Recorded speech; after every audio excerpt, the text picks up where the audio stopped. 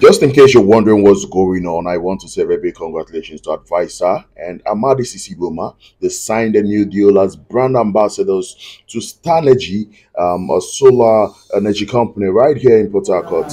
I want to say congratulations, guys. You can see the CEO, Ichawat Empire. Uh, we had interesting, interesting, interesting, fun-loving time. You can see Adviser, the comedian, also appreciating the CEO for deeming him fit to be a brand ambassador.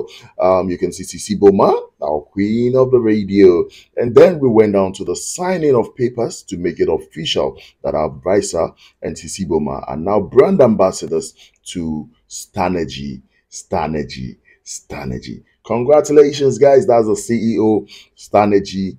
That's the CEO of Stanergy. You can see um Sisi Boma. You can see uh Maiwa. Everybody came out. It was a full house for the Ichewelt Empire and Stanergy Group. And then we went down to the photo section where we took photos.